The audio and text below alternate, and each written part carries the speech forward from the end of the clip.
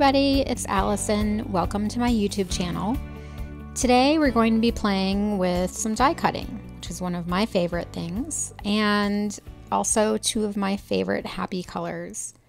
So if you watched my last video, I mentioned how my whole family had been getting sick last weekend, and it finally got me, uh, but I am better now. We're all getting better, so...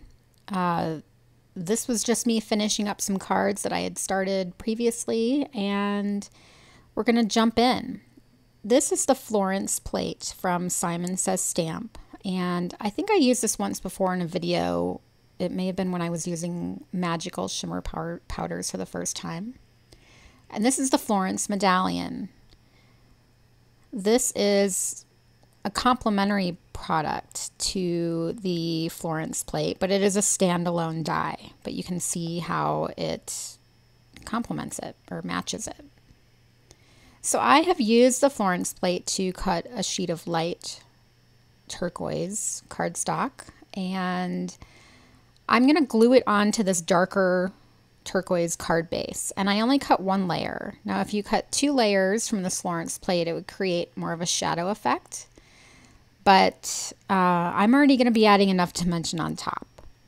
So for the medallions, I will be stacking these. So I'm going to stack, I cut them out of green cardstock and white cardstock.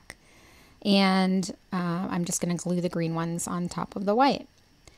Now you might see me use my craft pick a lot here. Uh, I like to use it to get any excess glue that oozes out. And, uh, you know, my craft pick is one of my favorite tools. I don't think I could craft without it. By the way, in the upper left part of the screen, you'll see the little blue cutout pieces from when I cut the blue panel from the Florence plate, and I'm keeping those, and you'll see you'll see why later in the video. Now you'll see I glued all the green medallions on, and in those columns I could get a full medallion, but in these other columns you would have medallions that um, you know, go off the edge. So I'm just deciding if I want to leave it as is or if I want to make things harder on myself. And you know me. uh, and when I say harder on myself, I just mean I like finding different ways to use things. So here we go. I'm going to use the same color as the card panel itself to create these medallions. And I'm going to go ahead and start gluing these onto the rest of the design in the cover plate.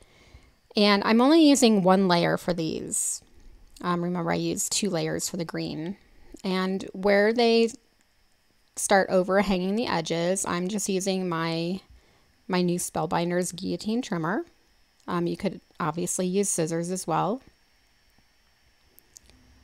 And here I've glued some onto the edge and you can see how those hang off the edge as well. So again, I'll just slice these off and I'm still really enjoying this, this paper trimmer. All right, so there's these little cutouts on the bottom and top part of the columns where I had put the green medallion. So now I'm just taking some little half pieces and covering those little parts as well. And voila, here it is all finished. Now, the edges are not so pretty, and I knew that they wouldn't be. Um, remember, this medallion is a complementary die. It's not a matching die. So the fact that these all don't match up perfectly is not a flaw in the design. It's just, it's just what I chose to do. So what I'm going to do is create a frame that will cover the unfinished look of those edges. This is the blanket stitched rectangle set from Pinkfresh Studio and I've cut an A2 sized panel from that. And now I'm taking a die for my A2 layers set from Waffle Flower.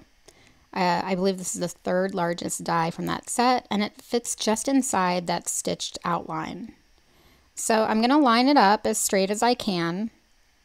And again, I'm I'm creating a frame, and you can create a frame with any rectangle die that you have. By the way, this A2 layer set from Waffle Flower is one of my most used sets. I use it all the time. You don't always see me using it, but it's kind of a workhorse in my craft room. So there's the frame. And now I can just glue it on. All right, so here we are. I've already finished the card off camera. Now the birthday wishes sentiment is this Simon Says stamp die. Uh, this does have a shadow die, but I didn't want to cover too much of that beautiful background, so I just used the words. And these little pearl embellishments, these little ones fit right inside the center holes of those medallions. And, and then I stamped and heat embossed a little sentiment from my stash. And there we are. And I think it's so pretty. And of course, it's in my happy colors. So I, I just love it. All right, let's jump into the second card. This time I used that same green paper to cut the Florence plate and then I glued that panel to a white card base. And now I have those little blue pieces, the, the ones that came from the first card. And now I could just do die cut inlay. And that's actually what I had originally planned to do. Um, this Florence plate is really perfect for die cut inlay technique. Uh, imagine doing all these little die cut inlays with different colors. That would be really beautiful. There's so many designs you could create. But I decided I'm going to do something different. So I'm going to use, I'm still going to use these pieces, but I'm going to create texture in a different way. So I'm just following the shape of the cutouts, but I'm going to let the white card base still show through. So I'm going to zoom in in a second here and you can see what the design is going to look like. And at this point, you know, I'm still just kind of seeing if this is what I want to do or or how I want to go about this. But I think it's a really unique way to use this plate. And again, this is just using the Florence plate itself. I just cut it from blue and I'm using those blue cutout pieces to put on the green. Now gluing these pieces down was similar to doing die cut inlay. Uh, not quite as quick and easy, but but very similar. I used my embellishment wand. And so I'm, you'll see it's a lot of up close and personal work. So you'd see a lot of my head if I were to show you all of it. So I'm just going to fast forward. Uh, now I have finished gluing all of those little blue pieces on. And here is the sentiment that I had initially created for this card. This is the birthday mail posh script from Memory Box. Uh, I haven't used this in a while and I love it.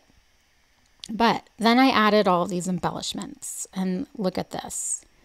I have white sparkle spots from Trinity Stamps. Those are the bigger ones. And then the little turquoise ones are glitter drops from Pink Fresh Studio.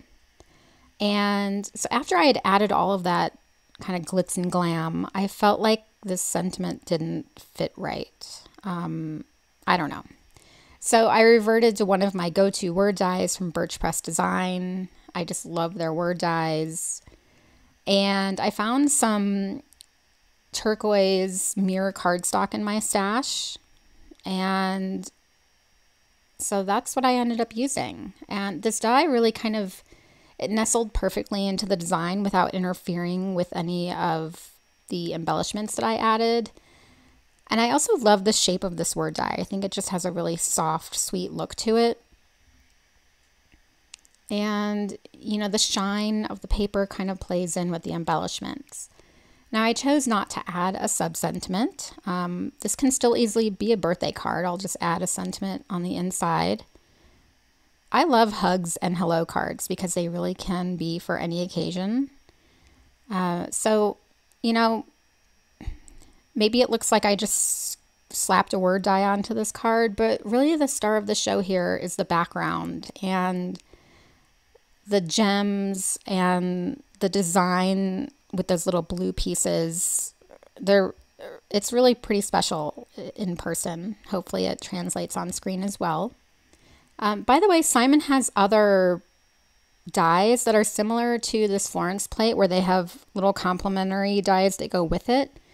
Uh, I think one of them is called Bubble Burst, and I don't have that yet. It's on my wish list, but that would be a really fun combination to play with, similar to how I played today. Uh, I'll link that below in case you're interested in looking at that one. Again, it's two products, just like the Florence plate and the Florence medallion. I really hope you enjoyed today's video. Uh, if, again, if you've watched me before, you know that I like to try different things. And so this made me happy. And again, after being sick, it's nice to come back to the craft room and, you know, if I had to finish something up, uh, I was happy to finish these cards because die cutting is my thing and my happy colors made it even better. So thank you for visiting me today. I really appreciate you being here. And if you like this video, please give me a thumbs up and don't forget to subscribe. I will see you next time. Bye bye.